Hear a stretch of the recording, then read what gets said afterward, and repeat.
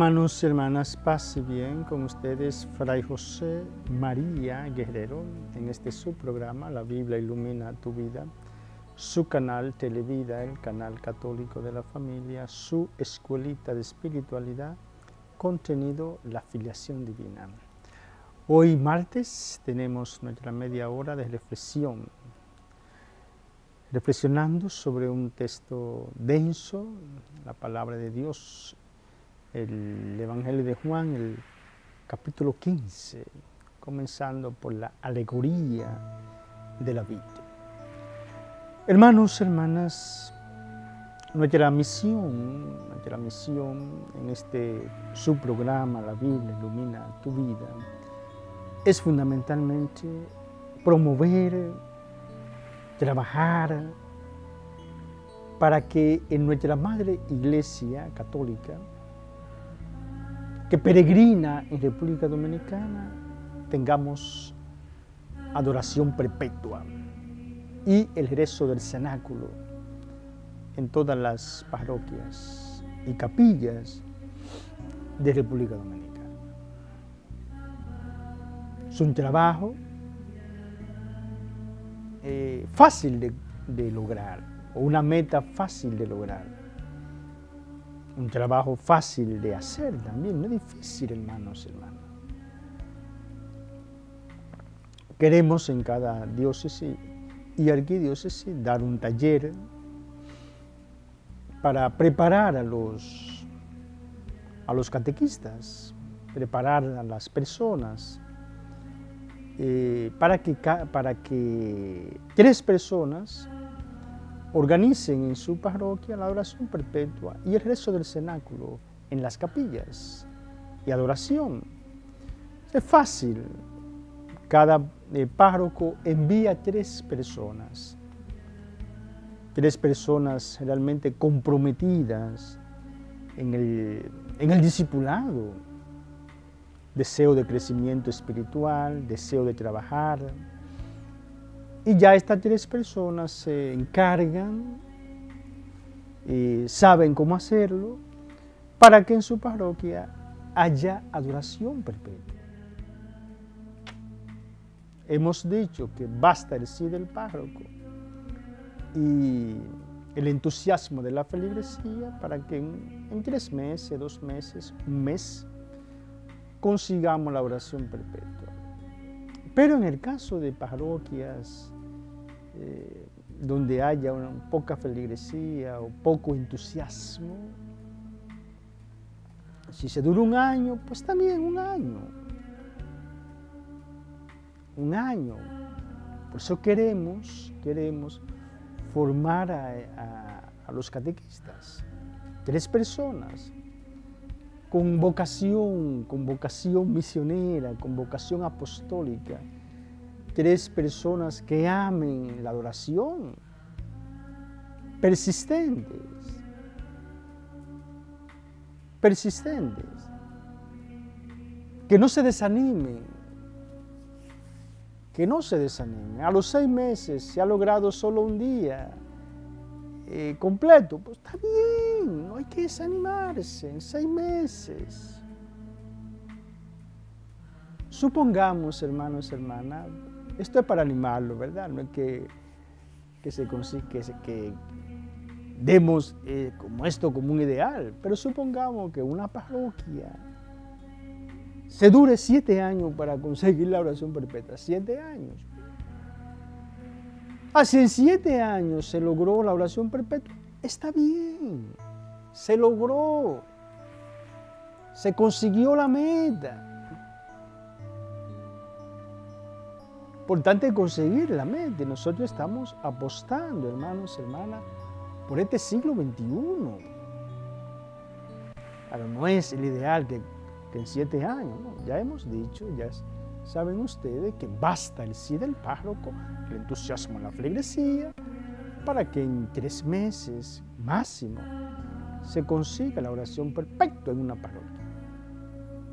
Pero pensamos en lugares, ¿verdad?, donde hay poca feligresía, la gente no va, eh, un poco de presa. Pero están esos tres hermanos están esos tres hermanos con vocación, ya hemos dicho, misionera, vocación apostólica. Hermanos perseverantes, perseverantes.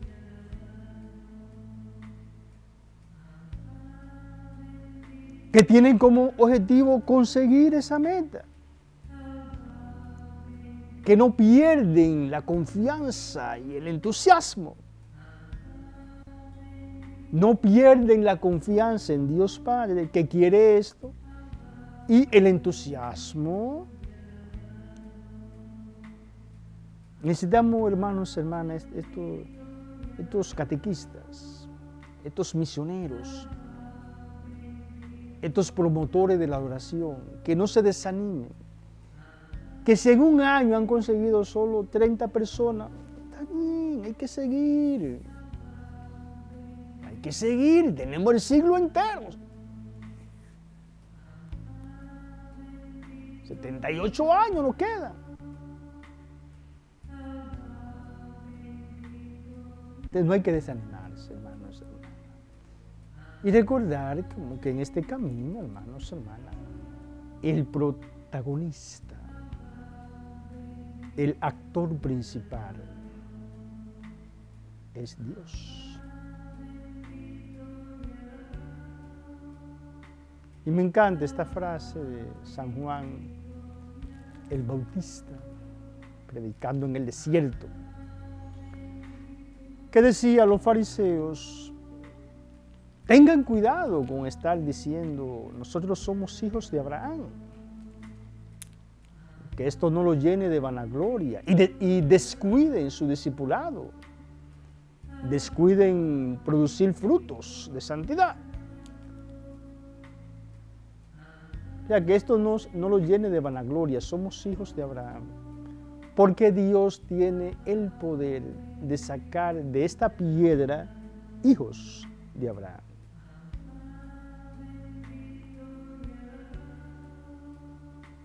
Ya Dios tiene el poder de sacar de, de las rocas adoradores. ¿Qué pasa? No nos desanimemos. El protagonista de la adoración perpetua es Dios. Es el Padre que quiere, a que quiere que su Hijo eterno sea adorado perpetuamente por sus hijos y sus hijas aquí en la tierra. Entonces, vamos a trabajar. Queremos comenzar pronto. Es posible que comencemos este año ya dando un primer taller en la diócesis de, Barahona. Ya me reuní con el obispo de Barahona y está esperando que le enviemos una comunicación algunos días para comenzar ya este trabajo en la diócesis de Barahona, dando talleres para preparar hombres y mujeres para que ellos organicen en su parroquia y en las capillas la adoración perpetua y el rezo del Santo Cenáculo. Eso queremos hacerlo en todas las diócesis y en en nuestras dos arquidiócesis de Santiago de los Caballeros y nuestra amada arquidiócesis de Santo Domingo de Guzmán, primada de América. Se démonos prisa, hermanos, hermanas, no hay tiempo para perder el tiempo. Oremos y trabajemos todos y todas para poner prontamente esta base sólida, sólida, esta plataforma sólida, que ya como decimos será un salto cualitativo, que nos permitirá dar más saltos cualitativos en la iglesia dominicana. Pero ya cuando tengamos, hermanos y hermanas, en cada parroquia y capillas, el rezo del Santo Cenáculo, todos los sábados, con el Santísimo expuesto, por supuesto, y concluyendo con la Santa Misa los sábados. y la oración perpetua, entonces será un salto cualitativo en la iglesia dominicana. Y humildemente, hermanos, hermanas, la primera nación del mundo con oración perpetua en todas sus parroquias. Entonces démonos prisa y aceleremos la historia. Bien, hoy tenemos un texto hermoso que me encanta realmente. Eh, Juan 12, 32. Juan 12, 32. Dice,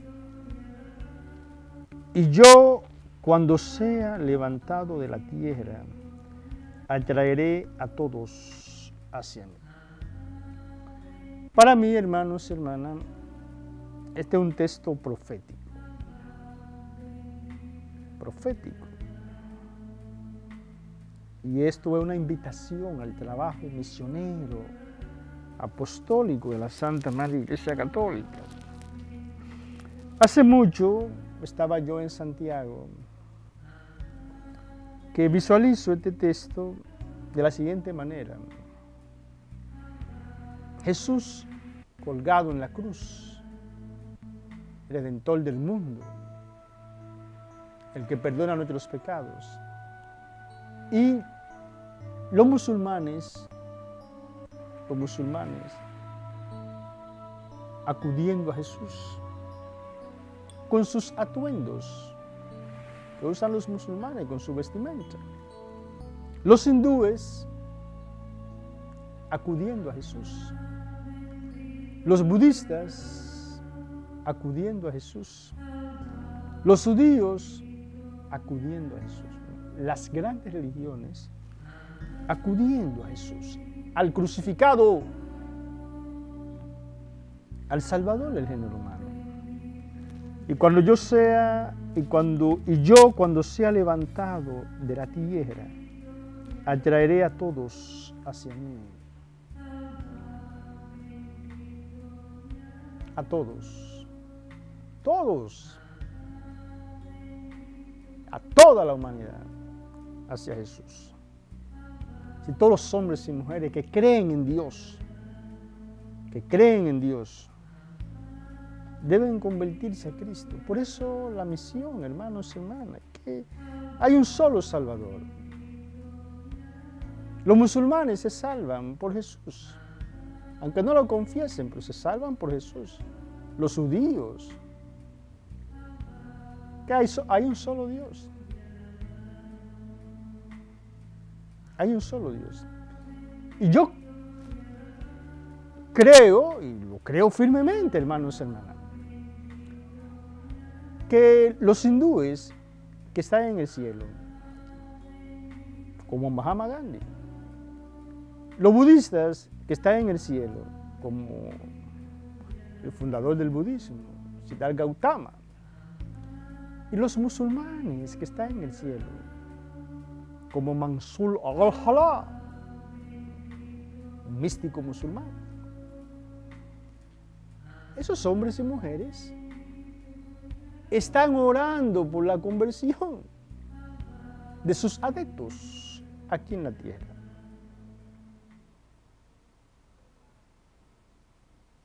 ¿A quién está adorando el Buda en el cielo?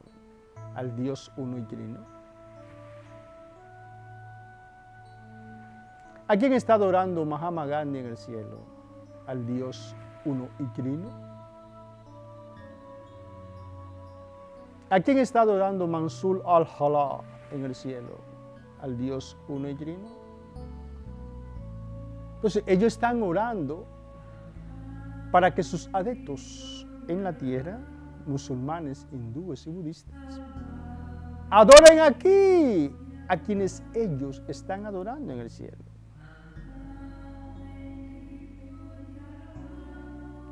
Adoren aquí a quienes ellos están adorando en el cielo.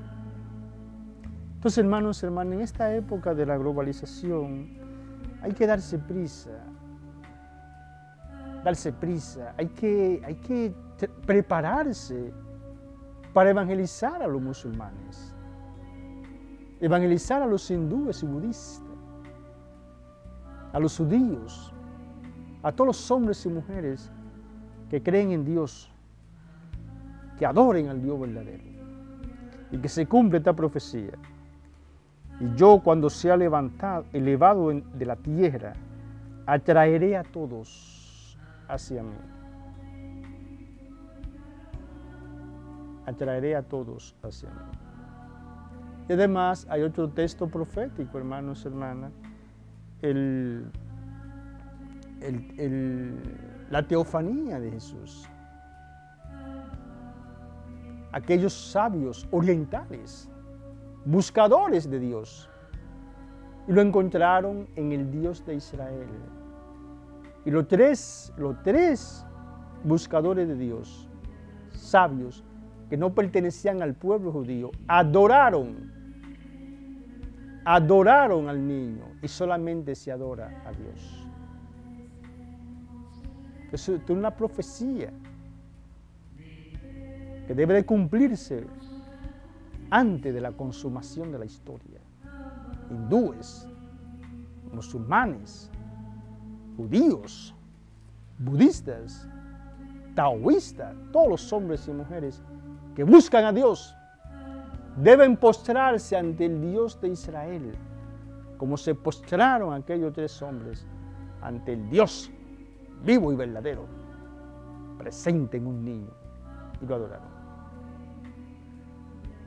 Y este otro texto profético. Y yo cuando sea elevado de la tierra, atraeré a todos hacia mí. Entonces, hermanos, hermanas, he aquí otro motivo para darnos prisa y acelerar la historia. Darnos prisa. Y la mejor forma, hermanos, hermanas, de atraer a los hindúes, a los budistas, a los musulmanes y a todos los hombres y mujeres que creen en Dios, pero no son cristianos católicos, la mejor forma de atraerlos es con una vida en santidad. Por eso hablamos de la iluminación, del despertar, del estado de santidad. Por eso hablamos de la certeza sobrenatural. Somos hijos de Dios. Démonos prisa, hermanos, hermanas, aceleremos la historia, no hay tiempo para perder el tiempo. Que se cumpla pronto esta profecía. Cuando yo sea elevado sobre la tierra, atraeré a todos hacia mí, dijo Jesús de Nazaret, el único Salvador del género humano. Padre infinitamente bueno, infinitamente santo, infinitamente amado, concédenos el don del Espíritu Santo para que durante la jornada de este día podamos pensar, hablar, sentir, imaginar y actuar como hijos tuyos a imagen de Jesucristo, tu Hijo amado. Amén. Padre infinitamente bueno, infinitamente santo, infinitamente amado, concédenos el don del Espíritu Santo para que durante la jornada de este día podamos pensar, hablar, sentir, imaginar y actuar como hijos tuyos a imagen de Jesucristo, tu Hijo amado. Amén.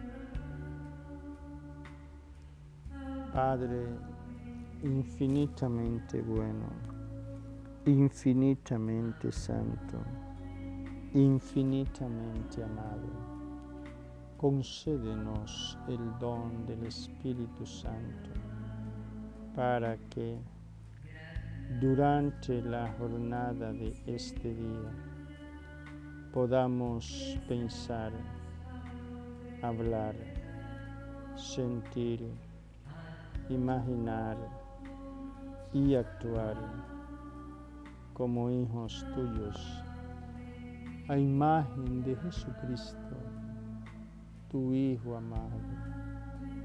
Amén. Amén. Amén.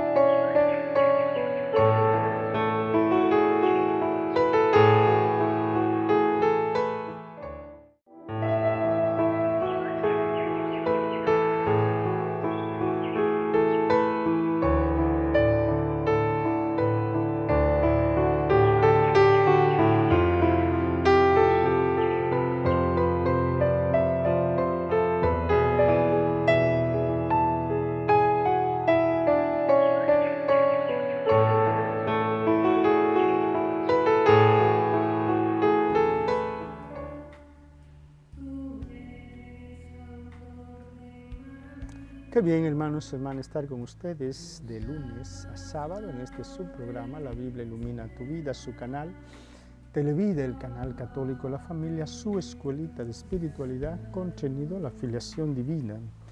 Comentando, hermanos y hermanas, este texto denso, el capítulo 15 de Juan, la vida verdadera, yo soy la vida verdadera, ya comentamos, ¿verdad? Eh, en los siete, hicimos alusión a los siete, yo soy de Jesús, este es el último, yo soy de Jesús, yo soy la vida verdadera. Y mi Padre es el viñador, el que, que cuida la viña, el que recoge la viña.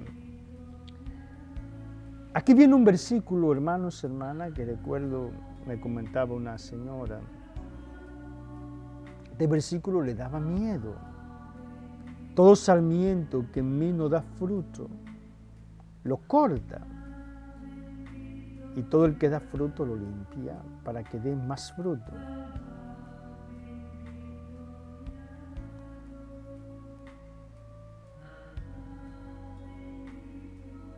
Lo que le daba miedo a la señora es que todo sarmiento que en mí no da fruto, el Padre lo corta. Comenta la Biblia de Jerusalén diciendo, el fruto es la santidad de una vida fiel a los mandamientos, especialmente al mandamiento del amor. Ver 12, 17, Isaías 5, 7, Jeremías 2, 21. El fruto y la santidad de una vida fiel a los mandamientos, especialmente al mandamiento del amor, la teología juanea.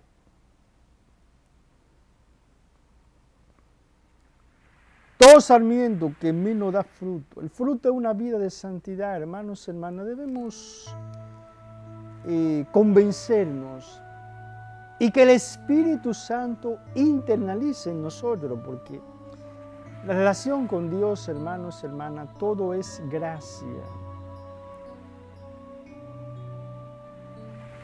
Todo es gracia. Toda dádiva, como dice Santiago, procede de Dios, del Dios bueno. Y Juan el Bautista, nadie recibe nada si no le viene de lo alto. Se pedir al Espíritu Santo, hermanos y hermanas, que internalice en nosotros que Dios nos ha creado para que vivamos en santidad.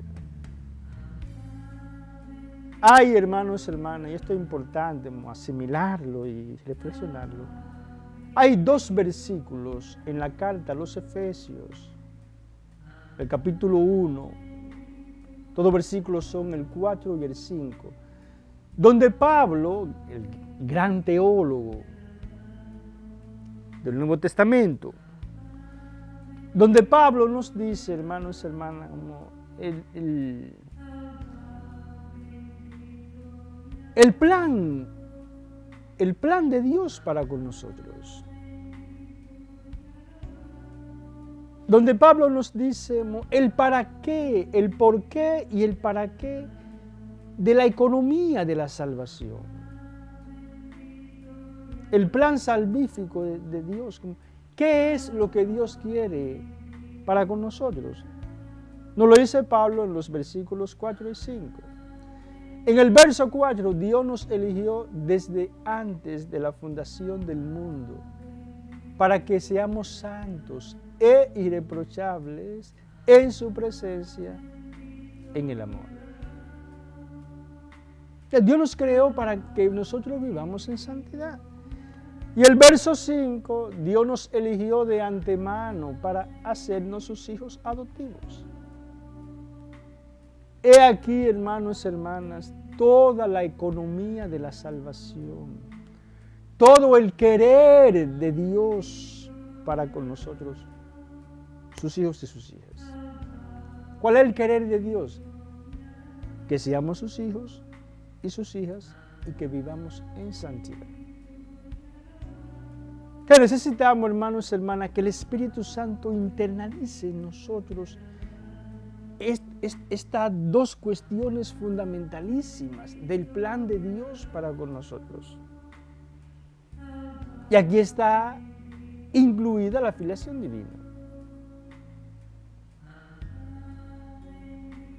La filiación divina, el, verso 5 de la carta de primer, del capítulo 1, verso 5 a los Efesios.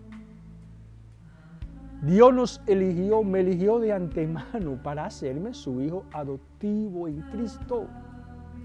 Y como hermosamente afirma Pablo, según el beneplácito de su voluntad.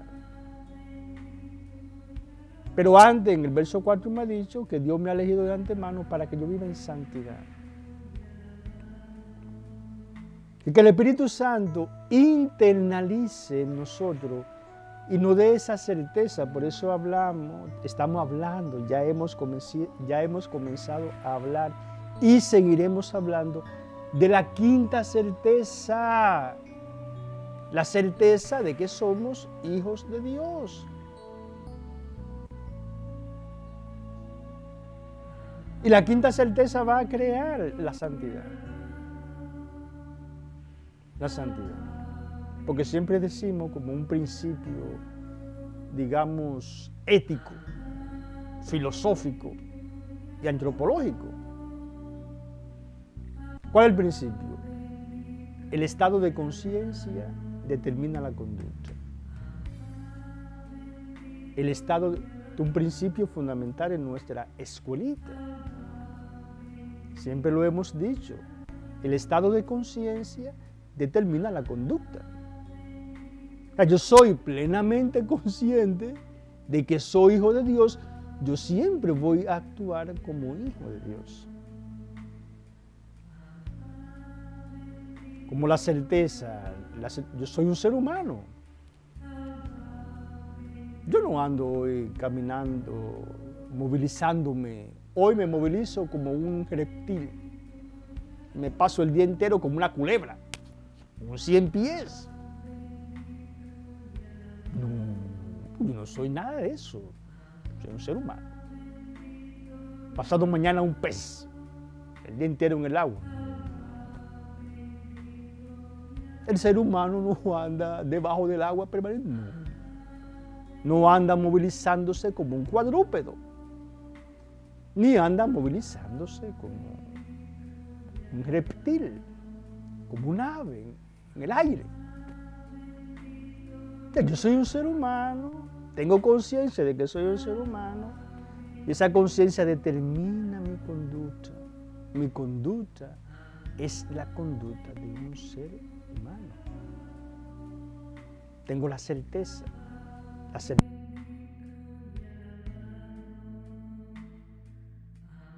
Entonces, hermanos y hermanas, y muy bien comenta la Biblia de Jerusalén, que el fruto es una vida de santidad, que se realice en el amor. Y aquí Juan y Pablo coinciden. Pablo, Efesios 1.4, Dios nos eligió de antemano para que vivamos en santidad, en el amor. Y el fruto es una vida de santidad en el amor. Hermanos, hermanas, pidamos al Padre bueno que nos dé su Espíritu Santo y que el Espíritu Santo internalice en nosotros la quinta certeza. La certeza de que somos sus hijos. Y viviendo la quinta certeza, realizaremos nuestra vocación. Nuestra vocación es la santidad. Los hijos de Dios, el primer atributo de los hijos de Dios es la santidad. Y por eso Jesús nos da el versículo más exigente de la Biblia.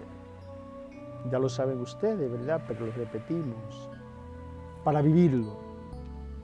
El versículo más exigente de la Biblia es Mateo 5:48. Sean santos. Sean santos. Sean santos. Como es santo su papá. Su papá es santo. Vivan en santidad. Bien, hermanos, hermanas, que la reflexión sea un estímulo para que vivamos en santidad. Para que vivamos en santidad.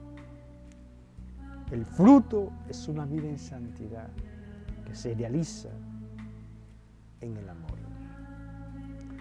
Dios te salve María, llena eres de gracia, el Señor es contigo, bendita eres entre todas las mujeres Bendito es el fruto de tu vientre, Jesús. Santa María, Madre de Dios, ruega por nosotros pecadores, ahora y en la hora de nuestra muerte. Amén. Gloria al Padre, y al Hijo, y al Espíritu Santo, como era en principio, ahora y siempre, por los siglos de los siglos. Amén. Amado, eterno y adorado Jesús, eres el Hijo del Dios vivo, eres el buen samaritano que nunca pasa de largo ante una necesidad humana. Te suplicamos por la intercesión de María Santísima de San José, que tú pongas en cada televidente, en cada miembro de su familia, que tú pongas en cada ser humano que habita este planeta Tierra el vino que tú sabes hace falta tú que vives y reinas por los siglos de los siglos. Amén. Jesús, en ti confío. Jesús, en ti confío. Jesús, en ti confío. Que el Señor Dios les bendiga y les guarde, les muestre su rostro tenga piedad y misericordia de ustedes, les mire benignamente y le conceda su paz. El Dios que bendijo a Abraham, a Isaac y a Jacob y las obras de sus manos, el Dios que bendijo a las santas mujeres, Sara, Rebeca, Raquel y las obras de sus manos, nunca parte de ustedes su bendición paterna. Y la bendición de Dios Todopoderoso, Padre, Hijo, Espíritu Santo, descienda sobre ustedes, su familia, trabajo, proyectos y permanezca para siempre. Amén. Paz y bien, hermanos, hermanas.